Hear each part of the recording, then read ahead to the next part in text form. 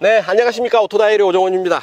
아, 날씨가 여전히 덥죠. 하지만 아침 저녁으로는 제법 어, 선선해져서요. 그래도 여름이 가고 가을이 오고 있는 게 아닌가 싶습니다. 오늘 시승해 볼 차 이 차입니다. 아우디 A7 55 TFSI E 콰트로 프리미엄. 이름이 워낙 길어서요. 제대로 말씀을 드렸나 모르겠습니다만 그 이름 하나하나에 나름의 뜻이 있죠. powertrain 살펴보시면 직렬 사기통 2.0 TFSI 엔진 적용하고 있습니다 배기량 2.0리터의 직분사 가솔린 엔진이고요. 여기에 S tronic 7단 자동 변속기가 그 힘을 조율을 하죠.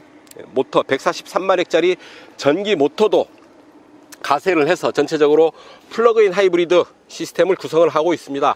1회 충전으로 주행 가능한 음, 모터가 주행 가능한 거리 47km로 인증을 받았으니까요. 뭐 47km 넉넉 잡고 50km 안에서는 전기 자동차로 이 차를 사용할 수도 있겠다라는 얘기입니다. 또 하나 더욱 좋은 것은 배터리가 완전 방전됐다고 해도 걱정할 게 하나 없죠. 그냥 엔진으로 이동을 하면 되겠습니다. 그래서 한겨울이 돼서 배터리 주행 가는 거리가 짧아졌다고 해서 불편할 게 하나도 없죠. 그냥 엔진으로 움직이면 될 테니까요. 보디 스타일이 뒤로 갈수록 낮아지는 쿠페 스타일 적용하고 있어서 좀 더 폼 나죠. 어, 외관 디자인은 S line 패키지를 적용을 해서 좀 더 스포티한 어, 분위기를 자아내고 있죠. 블랙 컬러로 마감된 사이드 미러 그리고 라디에이터 그릴 한 켠에 quattro 배지 들어와 있죠. 아우디의 자랑 풀타임 사륜구동 시스템 적용되어 있다라는 얘기고요. 앞뒤로 255 40R20 타이어가 들어와 있습니다. frameless 도어를 적용을 하고 있습니다. 대신에 이중접합 유리를 사용을 해서 실내로 소음이 파고드는 것을 잘 막아주고 있죠. 뒤에도 마찬가지입니다. 뒤에도 frameless에 이중접합 차음유리 적용하고 있는 것 알 수가 있겠습니다. 판매 가격 1억 원입니다. 9,985만 7천 원. 예, 꼬리가 길게 붙겠습니다만 뭐 1억 원이라고 봐도 무방할 텐데요. 과연 그 값어치 제대로 할지요. 직접 시승을 통해서 여러분들과 그 느낌 공유해 보도록 하겠습니다. 좋아요, 구독하기 오늘도 부탁드리고요. 함께 하시죠. 출발합니다.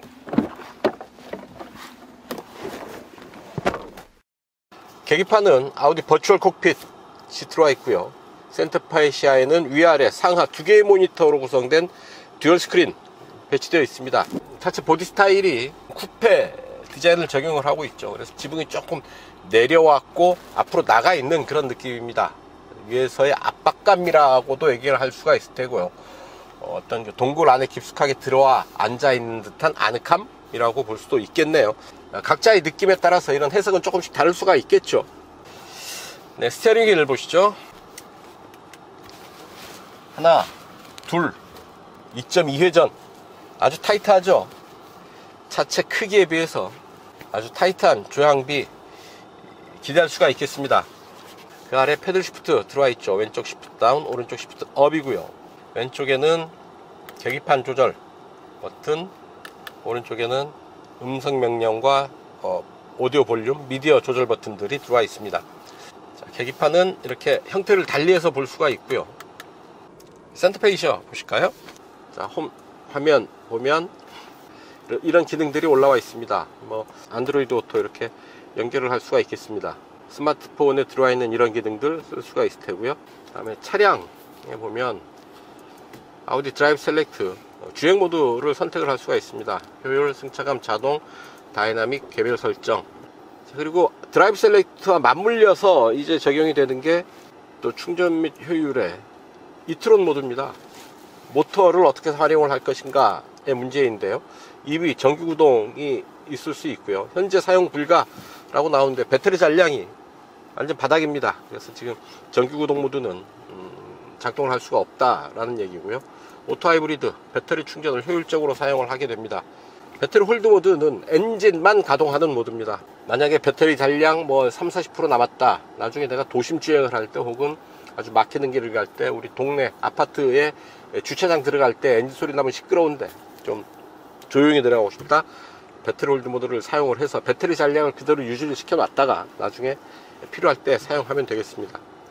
차량 상태 e-tron 통계 내연기관과 전기모터의 구동 가동 비율을 이렇게 보여주고 있습니다 이 차 1회 충전 주행 가는 거리 47km로 인증을 받았죠 47km라고 한다면 파주 헤이리 마을에서 여의도 지나서 뭐 동작대교 남단 직전까지 뭐 그 정도 거리가 됩니다. 47km 범위 안에서는 전기차로만 이 차를 사용할 수도 있겠다라는 얘기입니다. 어, 프리미엄 에어 패키지 기능 들어와 있습니다. 방향제 사용을 할 수가 있고요. 발밑 온도도 적용을 해서 운전석 그 환경을 조절을 할 수가 있습니다.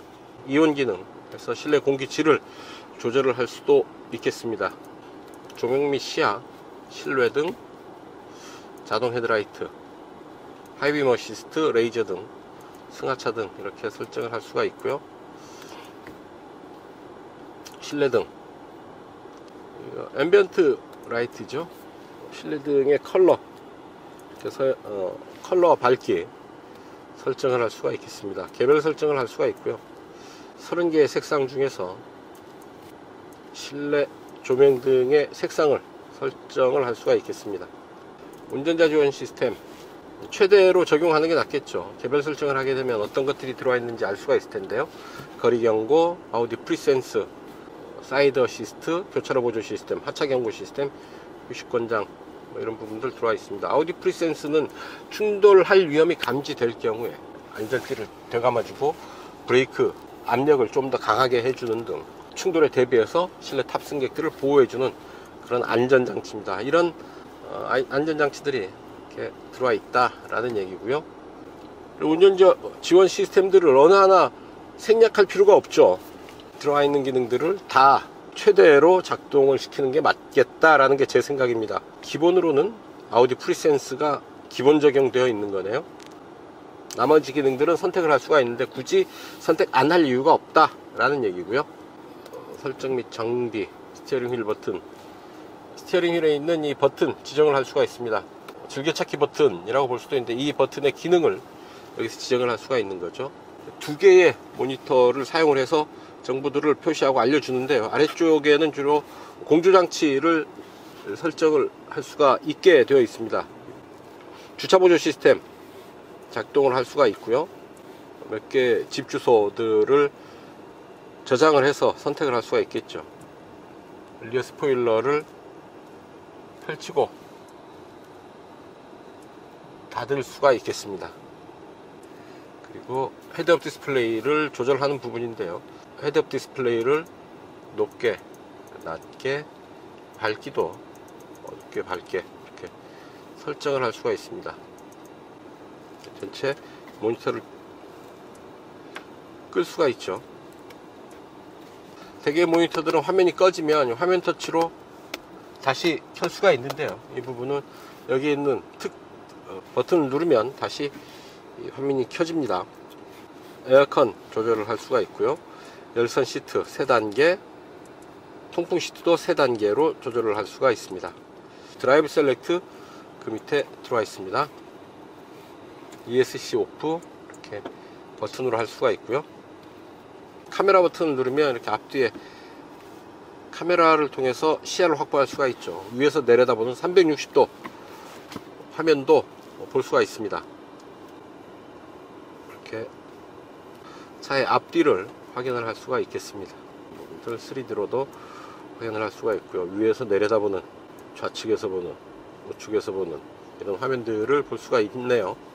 네, 두 개의 컵 홀더 그리고 시가잭 이 안에 콘솔 박스가 있는데요. 콘솔 박스 그렇게 깊지는 않습니다. 스마트폰 무선 충전 장치 이 안에 들어와 있고 옆에 아주 좁은 수납 장치 볼펜 몇 개 넣어둘 수 있는 정도의 수납 장치 수납 공간 들어와 있습니다. C타입 USB 포트 두 개 들어와 있고요. 네, 뒷좌석 살펴보시죠. 제가 앉았던 그대로 운전석 두고 뒤로 앉았습니다. 무릎 앞으로 주먹 두 개 꽉 차게 들어가죠. 지붕이 들어갈수록 좀 내려가죠. 그래서 측면 옆에서 이 차를 보면 멋있게 보이는데요. 실내에서는 그 부분이 마이너스 요소로 작용합니다. 공간을 좀 협소하게 만드는 요인이 되는데요. 머리 위로 주먹 하나 들어갈 여유가 없습니다. 손바닥 두 개 겨우 겹쳐서 들어가는 공간이 남아 있는데요. 머리 위 압박감이 어느 정도 있다 싶습니다. 뭐 쿠페의 특성이니까요. 센터 터널 아주 높게 솟아 있습니다. 제 손바닥을 거쳐서 손목보다 더 높은 높이로 센터 터널이 배치되어 있어서 뭐 완전히 좌우를 정확하게 구분하는 그런 벽으로 작용을 하고 있습니다. 뒤에도 이렇게 시가잭 준비되어 있고요. C타입 USB 포트 두 개, 그리고 뒷좌석 좌우 구분해서 온도 조절 할 수 있는 조절 온도 조절 버튼들 패널 들어와 있습니다. 근데 armrest 내리면 뭐 수첩 정도 넣어 놓을 수 있는 얇은 공간 그리고 두 개의 컵홀더 준비되어 있습니다. 문을 당기면 뒷좌석 가운데 부분만 따로 접을 수가 있겠습니다. 4대 2대 4로 뒷좌석 시트는 접을 수가 있겠다. 한번 나가서 볼까요? 이렇게 시트를 완전히 젖히면 어, 트렁크 공간과 만- 하나로 합쳐지면서 물건들을 더 많이 실을 수는 있겠는데요. 시트 등받이와 트렁크 바닥에 만나는 부분이 이렇게 턱이 져 있습니다. 평평하게 만들지는 않았다라는 얘기죠.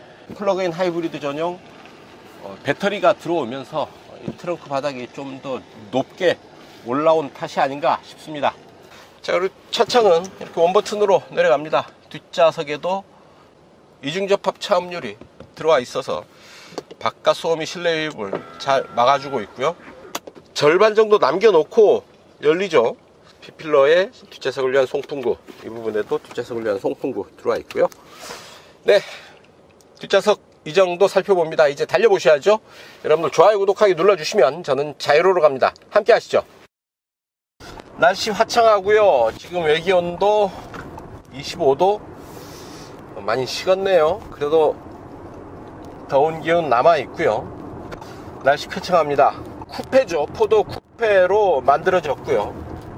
지붕이 앞으로 많이 나와 있고 또 뒤로 갈수록 낮아지죠. 그래서 위에서 어, 지붕이 누르는 압박감 혹은 어, 동굴 안에 깊숙하게 들어와 앉은 그런 느낌을 받게 됩니다. 플러그인 하이브리드 시스템이고요. 2.0 직렬 4기통 TFSI 그러니까 직분사 터보차저입니다. 총 시스템 출력 367마력인데 어, 엔진이 152마력 그리고 모터가 143마력이 됩니다. 주행의 질감이 상당히 부드럽습니다. 음, 시속 90km 전후의 속도인데 바람 소리도 거의 없고요. 노면에서 올라온 소리도 거의 느끼기 힘들 정도입니다. 이중접합 차음률이 적용하고 있고요.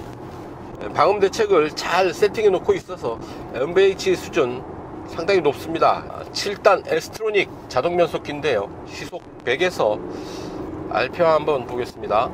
시속 100에서 7단 1500에 살짝 못 미치죠. 약 1400 정도로 보고요. 6, 5, 4, 3, 3단 5000, 7단 1500 구간에서 시속 100km를 유지를 한다 라고 보면 되겠습니다. 잠깐 steering wheel에서 손을 떼어봅니다. 자, 왼쪽으로 돌아 나가는 코너인데요. 커브길인데도 조향에 잘 개입하면서 차선의 중앙을 유지를 하면서 움직이고 있습니다. 시속 100km에서도 조향에 개입하면서 차선의 중앙 잘 유지하고 있죠. 또한 adaptive cruise control 적용되어 있어서 앞뒤와의 차간 거리도 정확하게 유지를 하게 됩니다. 앞뒤와의 차간 거리 하나, 둘, 셋, 넷, 네 단계로 조절이 되죠. 완성도 높은 주행 보조 시스템 적용하고 있다 싶습니다. steering wheel 아래로 paddle shift 들어와 있어서 수동 변속을 수시로 진행을 할 수가 있고요. 변속 레버를 오른쪽으로 밀면 또한 수동 변속 모드를 만나게 됩니다. D인 상태에서 오른쪽으로 밀면 수동 모드고요. 다시 왼쪽으로 밀면 D drive 그리고 변속 레버를 밑으로 당기면 S 다시 당기면 D 이렇게 변속 레버를 통해서도 변속 모드를 다양하게 조절을 할 수가 있겠습니다. S에서 좀 더 예민한 그런 주행 모드 반응을 볼 수 있을 텐데요. 주행 모드는 또한 어, drive select 버튼을 통해서 다섯 개의 주행 모드를 만나게 되는데요. 효율, 승차감, 자동, 다이내믹, 개별 설정 이렇게 됩니다. 다이내믹 모드 달- 잠깐만 달려보시죠. 스포츠 모드가 되겠습니다. 좀 더 차가 아주 예민한 반응 보여주게 되죠. 쭉쭉 속도를 높여 나가는데 아무래도 차체가 낮습니다.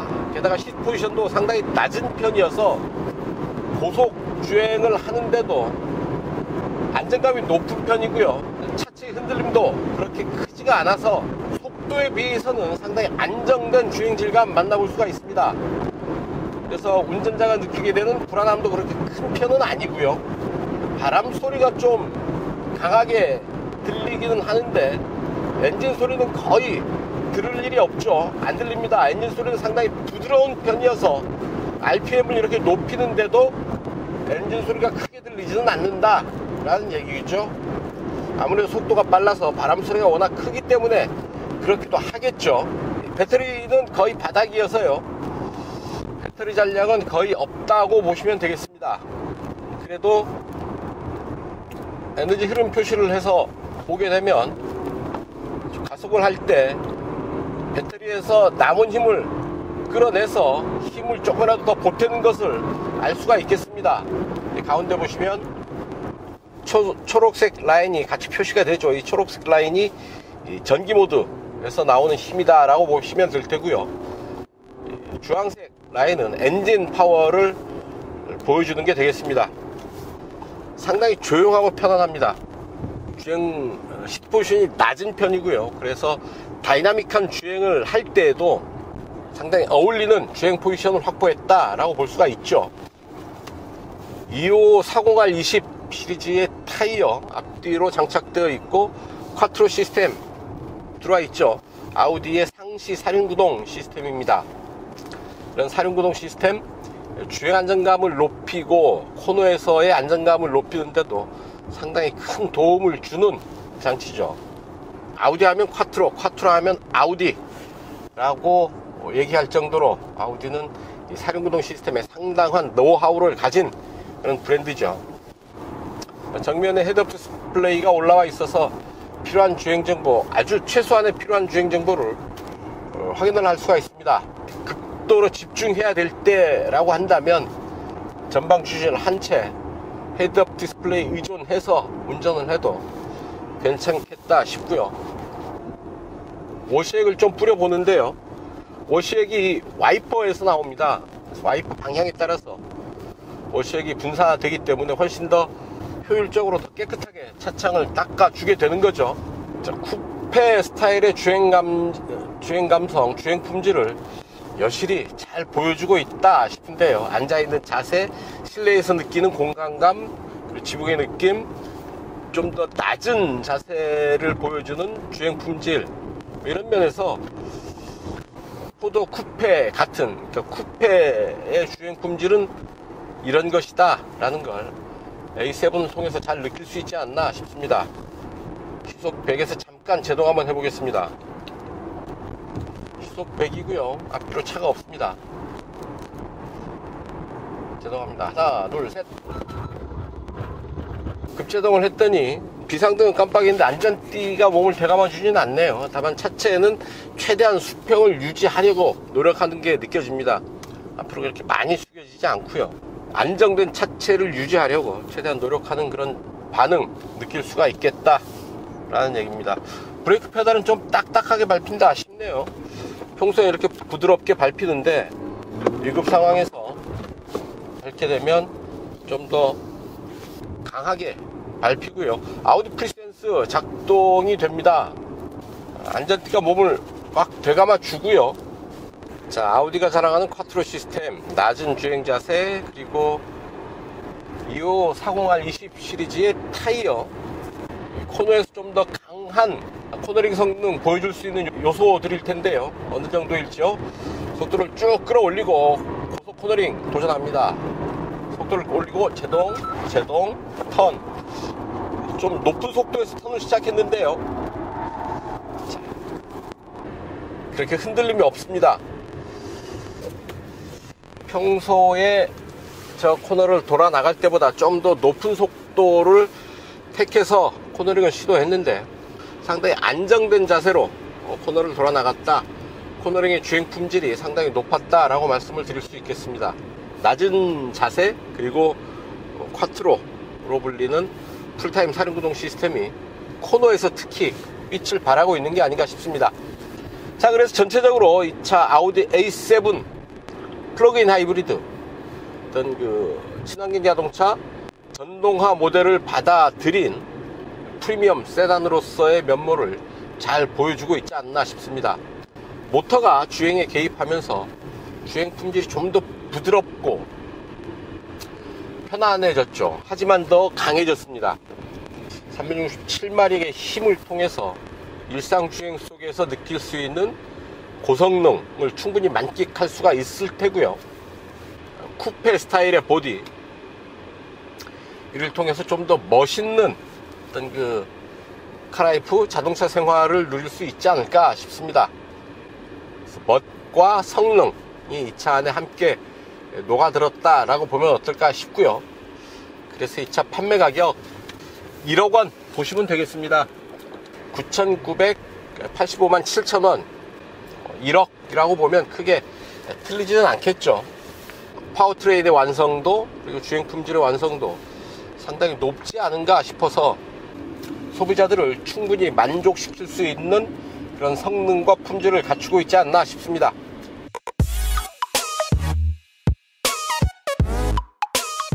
네, 이 차 공차 중량이 2160kg입니다. 모터와 엔진 합쳐서 367마력의 힘을 내고요. 그 메이커가 밝히는 이 차의 시속 100km 가속 시간 5.8초로 밝히고 있습니다. GPS 계측기 설치를 했고요. 에어컨 끄고 주행 모드는 다이내믹으로 가죠. 변속 레버 스포츠로 갑니다. 갑니다. 하나, 둘, 셋.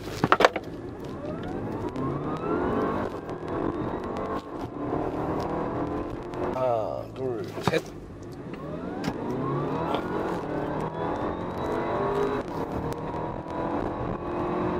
차근차근 속도를 높이고 있지만 비교적 짧은 거리에서 빠른 시간 안에 시속 100km 주파하고 있지 않나 싶고요. 가속 반응도 그렇게 거칠지 않습니다. 가속할 때 만나게 되는 소리가 참 매력적인데요. 엔진 소리와 모터 소리가 함께 섞여서 아주 인상적인 사운드를 만들어내고 있습니다. 가속감도 상당하고요.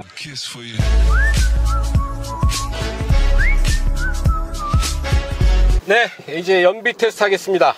2차 공인복합 연비는 엔진 연비 리터당 11.3km 그리고 모터 연비 킬로와트아워당 3km로 국내 인증을 받았습니다. 어, 엔진과 모터 합친 복합 연비는 리터당 15.7로 표기가 되어 있는데요. 이곳 파주 헤이리 마을이고요. 서울 지하철 2호선 교대까지 약 55km가 되는데 직접 달려가면서 체크해 보겠습니다.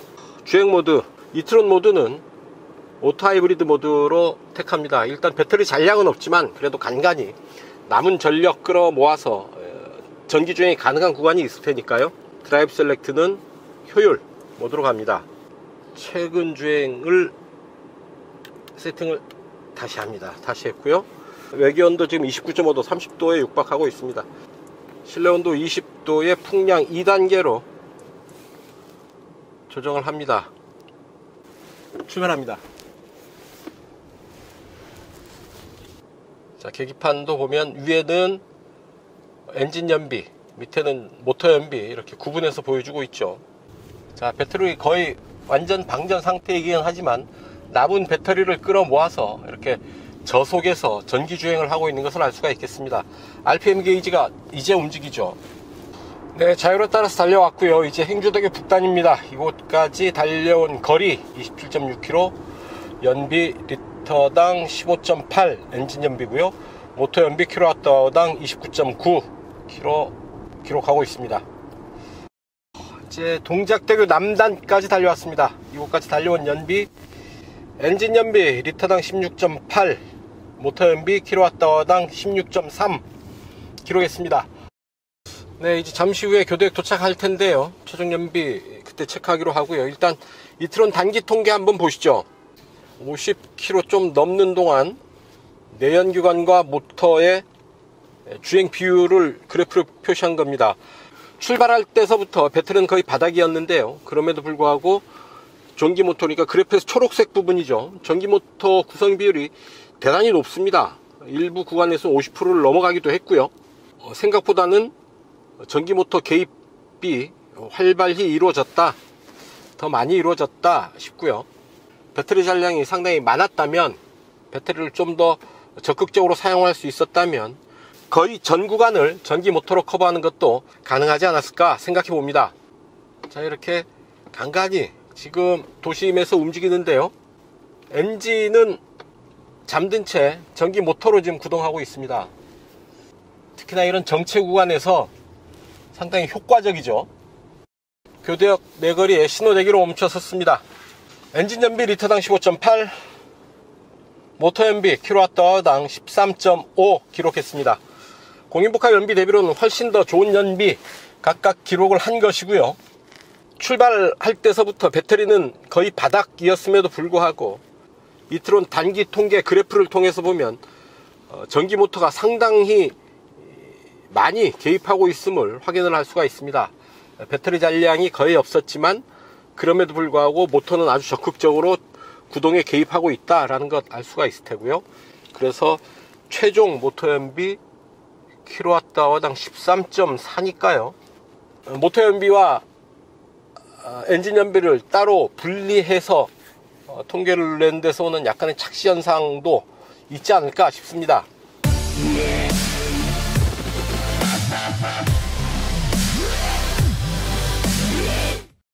네, 단도직입입니다. 이 차 타면서 느꼈던 사소한 불편함, 아쉬움 몇 가지 말씀을 드릴 텐데요.